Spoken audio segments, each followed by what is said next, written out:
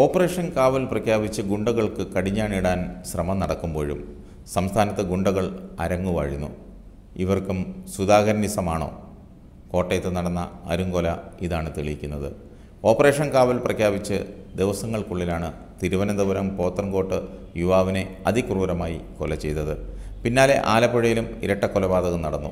കഴിഞ്ഞ ദിവസം നെയ്യാറ്റിൻകരയ്ക്കടുത്ത് ആര്യങ്കോട് പോലീസ് സ്റ്റേഷന് നേരെ പെട്രോൾ ബോംബ് ആക്രമണം നടന്നു. ഗുണ്ടകളെ വലയിലാക്കുന്ന പരിശോധനകൾ ആരംഭിച്ചെങ്കിലും ചില ജില്ലകളിൽ അത് കാര്യമായി നടക്കുന്നില്ലെന്ന് പോലീസുകാർ തന്നെ സാക്ഷ്യപ്പെടുത്തുന്നു. ഗുണ്ടകളെ സംബന്ധിച്ച് കഴിഞ്ഞ വർഷം ഇന്റലിജൻസ് വിഭാഗത്തിന്റെ കണക്കുകൾ പുറത്തു വന്നിരുന്നു. ഗുണ്ടാ പട്ടികയിൽ ഉൾപ്പെടുത്തി കരുതൽ തടങ്കലിൽ വയ്ക്കേണ്ടവരുടെ പട്ടിക ജില്ലാ പോലീസ് മേധാവിമാർ ജില്ലാ കളക്ടർമാർക്ക് കൈമാറുന്നുണ്ടെങ്കിലും കാര്യമായ നടപടി ഉണ്ടാകുന്നില്ല. അതോടെ ഒരു വിഭാഗം പുറത്തു തന്നെ തുടരുന്നു. കാപ്പ ഉപയോഗിക്കേണ്ടവരുടെ പട്ടികയിൽ ഉൾപ്പെട്ടവർക്കെതിരെ കാര്യക്ഷമമായ നടപടികൾ ഉണ്ടാകാത്തതും പോലീസിന് തലവേദനയാകുന്നു. കാപ്പ ചുമത്തുമ്പോൾ കൃത്യമായ നിയമം പാലിക്കാത്തത് കാരണം കോടതികളിൽ നിന്ന് ഇത്തരക്കാർ രക്ഷപ്പെടുന്നു.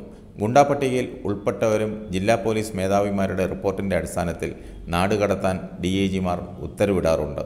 എന്നാൽ വ്യവസ്ഥകൾ ലംഘിച്ച് ഇവർ പലപ്പോഴും സ്വന്തം പ്രവർത്തന മണ്ഡലത്തിൽ തന്നെ തിരികെ എത്തുന്നു.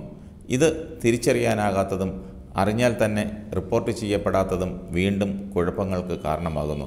കോട്ടയം സംഭവത്തിലും ഇത്തരം ഇളവ് നേടിയാണ് പ്രതി വീണ്ടും ജില്ലയിൽ പ്രവേശിച്ചത്. ഗുണ്ടാ സംഘങ്ങൾക്കിടയിൽ തന്റെ പെരുമ നിലനിർത്താനുള്ള ശ്രമത്തിന്റെ ഭാഗമായാണത്രേ കോട്ടയത്ത് ഷാൻ എന്ന പത്തൊമ്പതുകാരനെ ഗുണ്ടാ നേതാവായ ജോമോൻ കെ ജോസ് തട്ടിക്കൊണ്ടുപോയി. അതിനിഷ്ഠൂരമാം വിധം കൊലപ്പെടുത്തി ജഡം ചുമന്ന് പോലീസ് സ്റ്റേഷനിൽ കൊണ്ടിട്ടത്.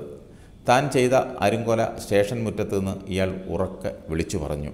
ഷാനിനു വേണ്ടി പോലീസ് തിരച്ചിൽ നടത്തുന്നതിനിടയിലാണ് വെളുപ്പിന് മൂന്ന് മണിയോടെ ഷാനിന്റെ ജീവനറ്റ ശരീരവുമായി ഗുണ്ടാ നേതാവ് സ്റ്റേഷനിലെത്തിയത്. പോലീസിന്റെ ജോലി ഇയാൾ എളുപ്പമാക്കി. ഘാതകനെ തെരഞ്ഞ് നാടങ്ങും പോലീസിന് ഓടേണ്ടി വന്നില്ല. കാപ്പ ചുമത്തി നാട് കടത്തിയ ഗുണ്ടാ നേതാവാണ് ജോമോൻ എന്നാണ് രേഖ. കാപ്പ ചുമത്തപ്പെട്ടാൽ ഒരു വർഷം കഴിഞ്ഞ് സാധാരണഗതിയിൽ പുനഃപരിശോധന നടക്കാറുള്ളൂ. എന്നാൽ ജോമോൻ രണ്ട് മാസം തികയും മുമ്പേ വീട്ടിലെത്തി. പ്രായാധിക്യമുള്ള അമ്മയെ ശുശ്രൂഷിക്കാൻ എന്ന വ്യാജ പ്രസ്താവന ഹാജരാക്കിയാണ് തിരിച്ചെത്തിയത്. ചുമതലപ്പെട്ടവരെല്ലാം കണ്ണടച്ചെന്ന് വ്യക്തം. കോട്ടയം സംഭവം ഒറ്റപ്പെട്ടതെന്ന് പറഞ്ഞ് നിസാരവൽക്കരിക്കാൻ കഴിയില്ല. കാരണം നാട്ടിലുടനീളം ഗുണ്ടാ സംഘങ്ങൾ നടത്തുന്ന അക്രമങ്ങൾക്ക് കയ്യും കണക്കുമില്ല. പട്ടാപ്പകൽ പോലും എതിർ സംഘത്തിലുള്ളവരെ ആക്രമിച്ച് കയ്യും കാലും വെട്ടി കൊലവിളി നടത്തുന്നു.